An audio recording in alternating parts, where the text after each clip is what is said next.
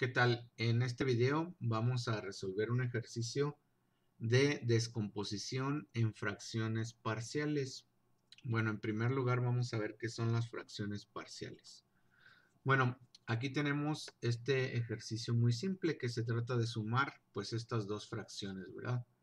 Es un ejercicio que ya sabemos realizar donde tomo mi denominador común que van a ser estos dos binomios x más 3 y x más 2. Luego hago la operación esto entre esto por esto y otra vez esto entre esto por esto. Entonces quedaría 2 por x más 2 más 5 por x más 3. Ok, ahora hay que realizar las operaciones. Lo voy a hacer por acá abajo. 2x más 4 más 5x más 15 y abajo igual. X por x serían x cuadrada más 2x más 3x más 6 ahora simplifico. 2x más 5x sería 7x más 19 y abajo sería x cuadrada más 5x más 6. Y ya está resuelta. Bueno, entonces una función racional es aquella que está formada, que es una fracción y que está formada por dos polinomios. Cuando el polinomio del numerador es de grado menor el polinomio del denominador, como en este caso, fíjense, el numerador es de grado 1 y el denominador está al cuadrado, entonces es de grado 2. Cuando sucede esto, se dice que esta es una fracción propia y entonces teóricamente se puede descomponer en fracciones parciales. ¿Qué son las fracciones parciales? Pues es simplemente de tomar este término y regresarlo a las fracciones que lo generaron, que serían estas que tengo acá. Entonces, descomponer en fracciones parciales es cuando me dan una función racional que sea propia y yo tengo que llegar a estas fracciones más simples, ¿verdad? Entonces, ese es el chiste de las fracciones parciales, que me lleve desde este término hasta estos. Ok, pues vamos a ir resolviendo un primer ejemplo. Bueno, entonces este término lo vamos a descomponer en fracciones parciales. 5x más 7 sobre x cúbica más 2x cuadrada menos x menos 2. Eh, puede haber diferentes casos de acuerdo a cómo sean mis denominadores. Vamos a empezar con el más sencillo de todos, con este ejemplo. El primer paso es factorizar este denominador. ¿Cómo lo puedo factorizar? Pues fíjense que se repite un 2, entonces de aquí podría sacar un 2 de estos dos términos y de los otros dos términos podría sacar una x. Bueno, entonces voy a empezar con x. De aquí quedaría x cuadrada y de aquí quedaría menos 1. Luego continúo factorizando el 2 de los otros dos términos, entonces de aquí quedaría x cuadrada menos 1. Ahora si se fijan, este término es igual a este, entonces lo puedo sacar como un factor común.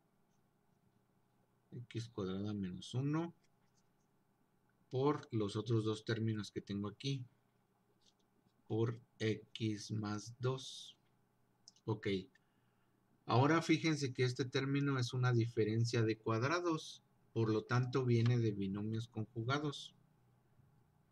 x más 1 y x menos 1. Y x más 2, que es el otro término. Entonces, pues ya está totalmente factorizado este denominador. Ya está completamente factorizado. Fíjense que todos estos términos son lineales y al mismo tiempo también son diferentes entre ellos. Eso quiere decir entonces que me van a quedar tres términos, cada uno con un denominador con estos binomios. Como todos estos términos son lineales, el numerador me va a quedar de un grado menos, es decir, de un grado cero, que sería una constante, ¿verdad?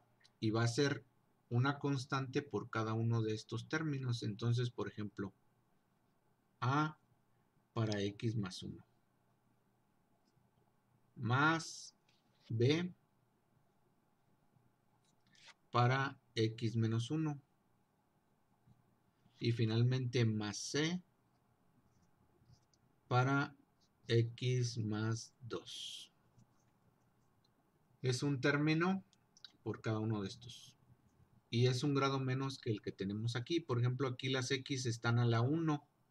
Entonces significa que el numerador debe estar a grado 0, que, es una constante, ¿verdad? Entonces por eso queda así. Este es el, el caso más sencillo de todos. Es con el que empezamos. Ok, entonces ya tengo que van a ser tres términos los que debo de encontrar. Debo de encontrar los valores de A, B y C. Ahora, el siguiente paso es multiplicar todos esos términos, pues por todo esto. Multiplicarlo, toda esta igualdad por todo eso. Entonces, desde aquí hasta acá, lo vamos a multiplicar por estos tres términos. Entonces, al multiplicarlos, fíjense que todo este término se me va a anular, todo este denominador se me va a anular. ¿Por qué? Porque esto es exactamente esto mismo, nada más que aquí está factorizado. Entonces solamente me va a quedar este numerador, ¿verdad?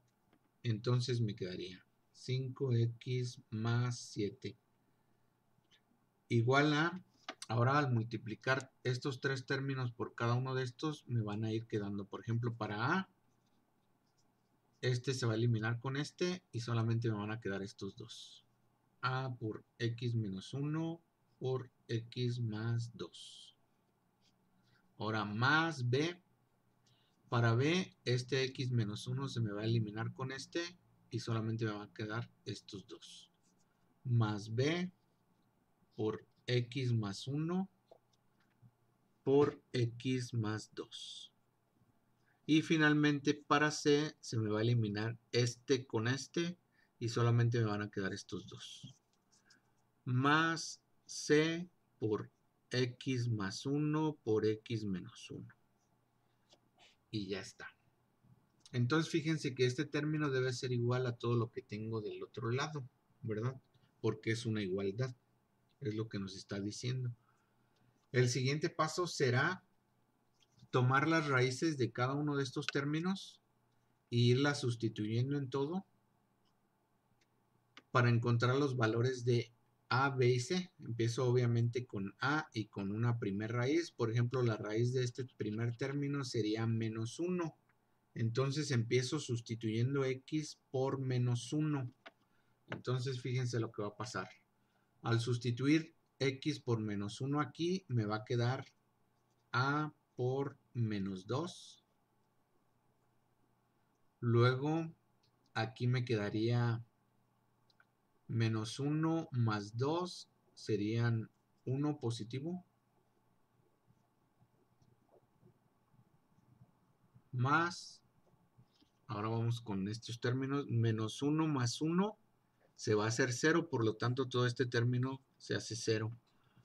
Igual va a pasar acá. Al sustituir x por menos 1, este término se va a hacer 0 y por lo tanto todo esto se vuelve 0. Entonces, a por menos 2 por 1 me quedaría menos 2a. Bueno, entonces también tengo que sustituir esa raíz de este otro lado. Entonces sería 5 por menos 1 más 7. Y esto igual a esto sería menos 5 más 7 quedaría 2. 2 debe de ser igual a menos 2a. Entonces es fácil ver que a debe de valer menos 1. Y ya tengo mi primer, mi primer valor constante, ¿verdad? a va a valer menos 1. Eso quiere decir que acá arriba a va a valer menos 1. Ya tengo el primero. Ahora, para encontrar b, sustituyo la siguiente raíz. en este caso sería 1, 1 positivo, la raíz para este término. Y tengo que sustituirla igual tanto del lado izquierdo como del lado derecho de la igualdad. Bueno, vamos a borrar. Ok, entonces ahora vamos con la segunda raíz que va a ser 1 positivo. Entonces sustituyendo aquí 5 por 1 más 7 va a ser igual a... Aquí al sustituir 1 positivo menos 1, todo este término se me va a hacer 0. Entonces vamos acá. 1 más 1 va a dar 2, entonces va a ser b por 2 1 más 2 da 3, entonces por 3. Luego al sustituir el 1 con este menos 1 se va a hacer 0, por lo tanto todo este término se vuelve 0 y solamente me va a quedar para b. Entonces haciendo operaciones 5 por 1, 5 más 7 da 12 y esto es igual a 2 por 3 son 6b. Y una vez más es fácil ver que b va a valer 2 positivo ya tengo mi segundo valor. Entonces, por acá arriba, B va a valer 2. Ok, finalmente para C, otra vez tengo que buscar la raíz del último término, sería este, que en este caso sería menos 2. Entonces ahora vamos a sustituir menos 2 en toda esta ecuación. Voy a borrar.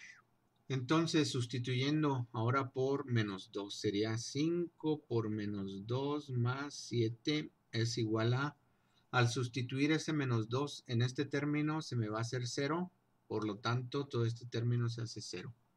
Igual para este caso, al sustituir x por menos 2, se vuelve 0. Solamente nos va a quedar este término. c por menos 2 más 1 da menos 1. Y menos 2 menos 1 da menos 3. Ahora simplificamos. 5 por menos 2 va a dar menos 10 más 7 va a dar menos 3. Es igual a 3 por 1, 3 positivo, 13. Y una vez más es fácil ver que C vale menos 1. Entonces finalmente C va a valer menos 1. Y ya está resuelto.